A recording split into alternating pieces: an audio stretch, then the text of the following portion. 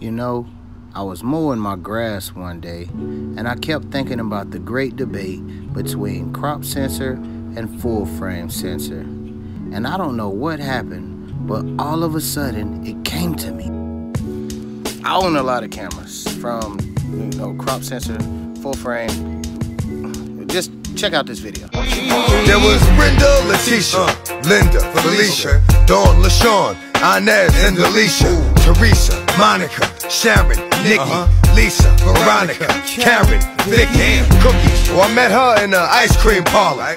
Tanya, Diane, Lori, and Carla, Marina, Selena, Katrina, Sabrina. About three Kims, Latoya, Tina. I do a lot of studies on cameras.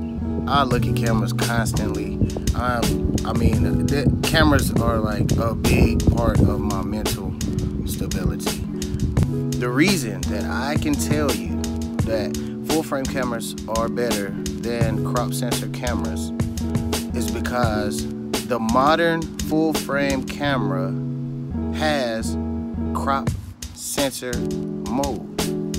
That means that when you buy a full frame camera, you also get a crop sensor camera.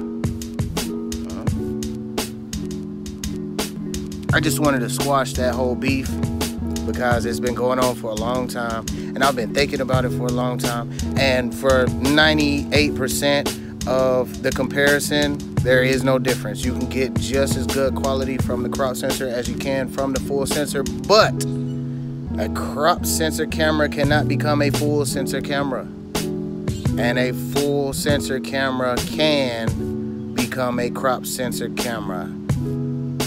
If you like it, leave me a like. If you didn't, keep scrolling. Till next time, I'm a holla.